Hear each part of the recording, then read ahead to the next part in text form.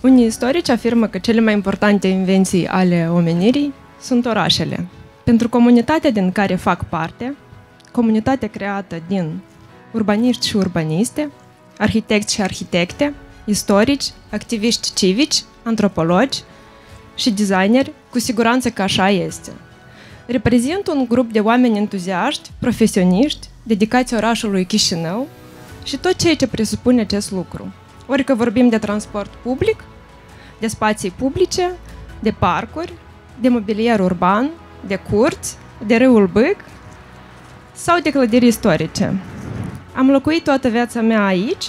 Primele mele amintiri sunt legate de Chișinău, de clădirile de pe Bulevardul Ștefan cel Mare, de havuzul din grădina publică. Simt apartenență față de acest oraș și una din întrebările de la care am pornit și pe care mi-o pun des și pe care o adresez și altor oameni e este Chișinăul un oraș în care vrem să locuim? Probabil că din aceste motive și pornind de la această întrebare, cu multă pasiune și dăruire, alături de comunitatea de care vă vorbeam mai înainte, am încercat în ultimii ani să facem din Chișinău un oraș, un, un loc uh, mai bun. Cu puterile pe care le-am avut și așa cum am putut.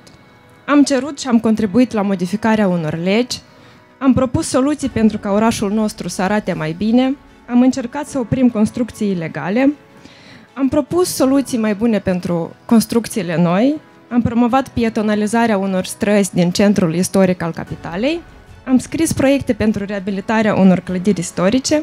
Și, în final, am promovat Chișinăul prin tururi arhitecturale, încercând să transmitem entuziasmul nostru la câți mai mulți oameni pentru ca să îi convingem că orașul nostru are ce oferi, are ce arăta și are ce dezvolta. Am decis să candidez alături de echipa PAS și de domnul Lilian Carp, alături de o echipă cu care eu rezonez și cu care îmi doresc să contribuim la schimbarea orașului nostru din primărie și din Consiliul Municipal Chișinău. Voi fi vocea comunității și oamenilor care zi de zi se dedică schimbării Chișinăului într-un, într-un oraș confortabil și voi găsi soluții la proiectele pe care le-am făcut fiind în societatea civilă. Cred cu tărie în importanța capitalei noastre, mai ales în acest moment când Republica Moldova are statut de țară candidată la Uniunea Europeană. Orașul Chișinău trebuie să devină un exemplu de dezvoltare pentru restul țării, dar și pentru regiune. Acum este momentul când orașul Chișinău trebuie să se plieze cu ajutorul partenerilor europeni de dezvoltare la agenda urbană a Uniunii Europene și la prioritățile acestea. Aceasta înseamnă un oraș cu aer curat, un oraș cu spații publice de calitate, un oraș cu transport public calitativ și accesibil, un oraș cu monumente istorice valorificate, un oraș în care pietonii sunt în siguranță, un oraș eficient energetic și un oraș confortabil.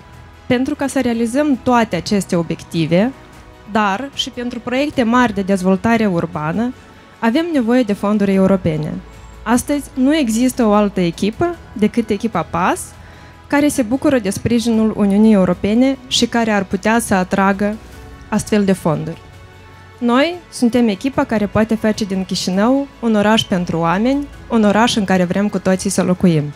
De aceea, pe 5 noiembrie, veniți la vot împreună cu familia și prietenii. Vă îndemn să ne susțineți, să votați echipa PAS în toate buletinele și Lilian Carp la primar general al municipiului Chișinău.